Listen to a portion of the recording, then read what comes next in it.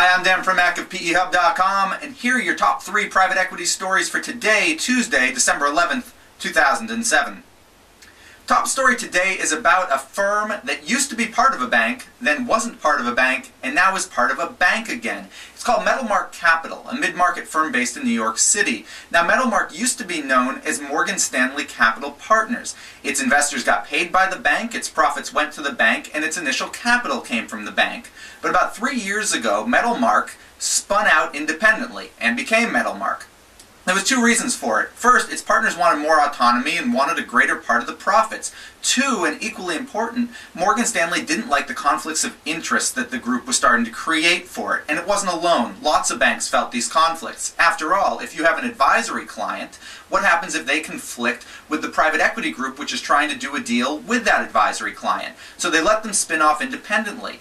Yesterday, however, Metalmark announced that it's going to go back under a banking umbrella, but not Morgan Stanley. It's going with Citi, becoming a so-called investment center within Citi Alternative Investments. It's an interesting move, particularly considering that it shows that banks no longer seem to be worried about the conflicts of interest. Citi never gave up its private equity group, and Morgan Stanley has actually re recreated its private equity group, albeit not with the Metalmark folks.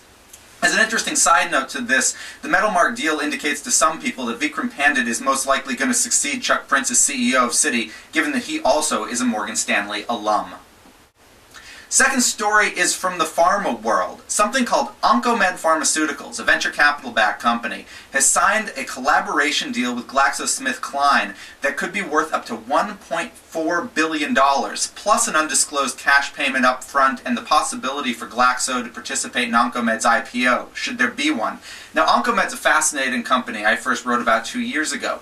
It targets what it calls cancer stem cells. Now, like real stem cells, the what cancer stem cells do is they can replicate, they can reproduce. Unlike so-called normal stem cells, they don't create organs or blood.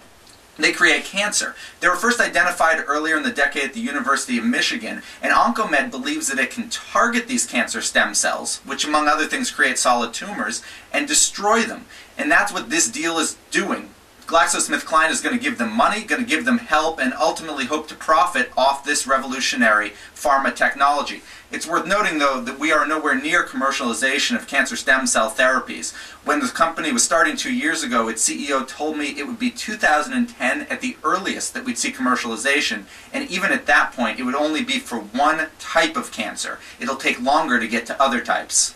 Final story today shows that one bad VC deal doesn't kill a VC's career. That VC is John Auerbach, who up until last week was a partner at Highland Capital Partners here in Boston. Now, Auerbach is unfortunately best known for doing a deal called Amp'd Mobile, which burned through about $360 million, some of which was Highland's, some of which was other venture capital firms, and then went bankrupt earlier this year.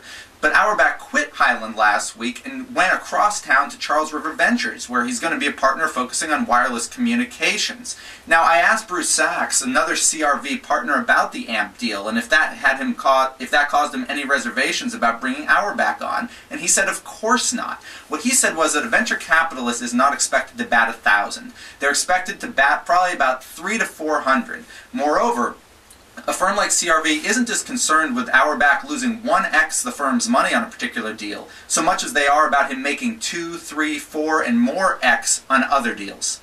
I've been Dan Primack for PEHub.com. Make sure to check back here tomorrow morning for the next top three.